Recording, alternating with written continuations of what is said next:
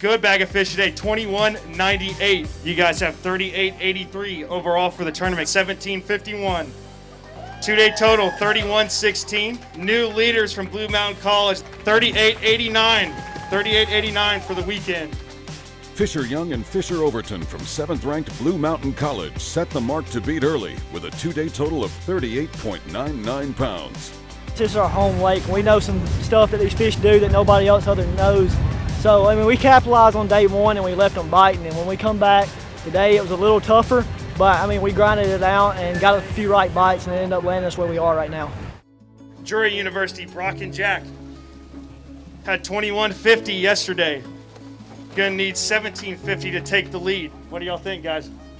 You can have it. Let's see. It is close, but you've got it. 1865. Two-day total, 4015. Brock Bila and Jack Rainkin from 8th ranked Drury University are the first team to eclipse the 40 pound mark for a two day total of 40.15 pounds. It was a lot tougher than yesterday.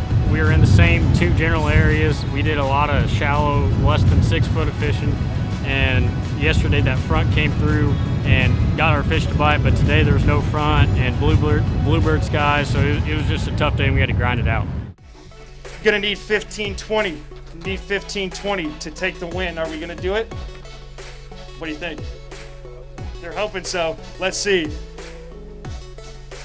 Easy money, 2046 for the weekend, 45 42. 45 42. Pull those out, stand right back here and hold them up for a picture, guys.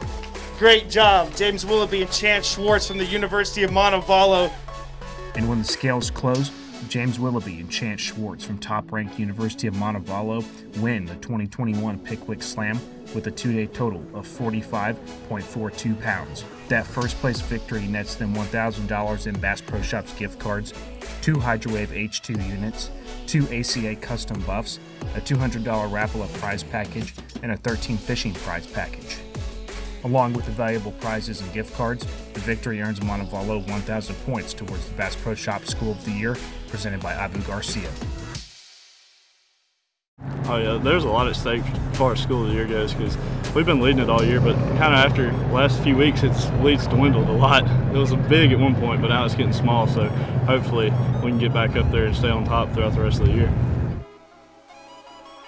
Following the Pickwick Slam, here's a look at the standings in the School of the Year race. Montevallo is in first place. Two-time defending School of the Year winner McKendree University is in second, and Murray State is in third, more than 2,000 points behind first place. The Pickwick Slam is the final ACA double points event before the championship in just over a month.